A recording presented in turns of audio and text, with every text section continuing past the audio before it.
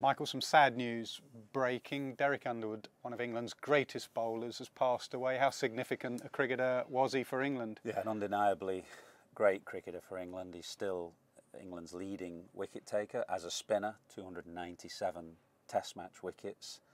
Um, bowling at a, a, particular time, really, for people thinking of Derek Underwood, they think particularly about uncovered pitches. He was a he was a quick spinner. He bowled at a fast pace and on pitches that were drying and wet to dry, he, he was said to be near unplayable, and he had a brilliant wicket-keeper more often than not behind the stumps in yeah, Knott. Yeah, caught Knott, bowled Underwood, or stumped Knott, bowled Underwood. He was also a different type of spinner. You've mentioned it there. He came up with a very long run up, round the wicket, and fired it in. Yeah, you think of spinners as being quite slow and, and flighty, but because uh, of the conditions that, that were pertained at the time, um, particularly the uncovered pitches that we talked about. As you say, he's somebody who ran in off quite a long run up and bowled it in a kind of cutter fashion rather than a kind of, you know, somebody who would flight it and try and beat people in the air.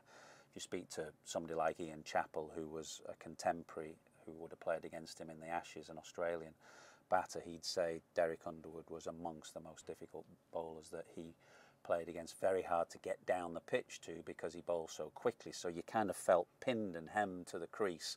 And there's that famous photo at the end of the 68 Ashes Test match at the Oval when uh, rain had come, you know, they dried the pitch, um, and then all the men round the bat as England won with about six minutes to spare. Where would he rank in, in the list of spinners for England?